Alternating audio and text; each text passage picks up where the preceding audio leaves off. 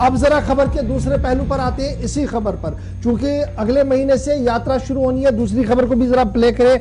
NDRF की टीमें भी मुतहरिक हो गई है। अब ये एनडीआरएफ की टीम मुतहरिक अमरनाथ यात्रा के हवाले से हो गई है 2023 के हवाले से। इतला यह है कि एनडीआरएफ की टीमें गियरअप हो गई है सालाना अमरनाथ यात्रा के लिए और एरियल सर्वे उनकी तरफ़ से किया गया।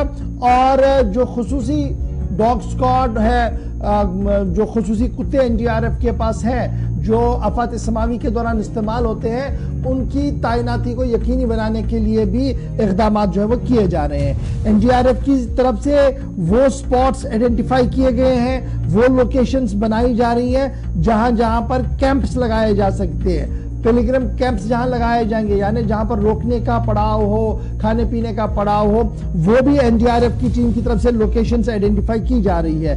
एक दर्जन से ज़्यादा नेशनल डिजास्टर रिस्पॉन्स फोर्स की टीमें डिप्लॉय कर दी गई है। इस काम के लिए जो एरियल सर्वे भी कर रही है, केनी टीम्स को भेजा गया है।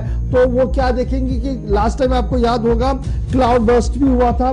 और लास्ट टाइम आपको याद होगा कि किस तरीके से कैजुअलिटियाँ भी वहाँ पर हुई थी और काफ़ी हु का आला वहाँ पर बना हुआ था। इस बार ये ये ये तय किया जा रहा है कि अवॉइड किया जाए जी कैजुअलिटीज जो फ्लश फ्लड्स आते हैं ग्लेशियर आउटबर्स्ट होता है, ये चीज़ें ना हो और उससे कैसे हम बचे।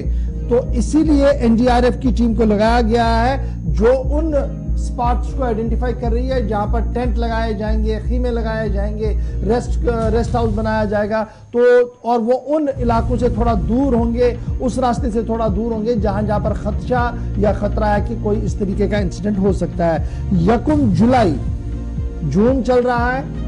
यकुम जुलाई से बाजाबता तौर पर यात्रा का आगाज़ जम्मू कश्मीर के अंदर किया जाएगा, और इस सिलसिले में इंतजामिया जहाँ मुतहरिक है एडिशनल डिप्लॉयमेंट लगाई जा रही है।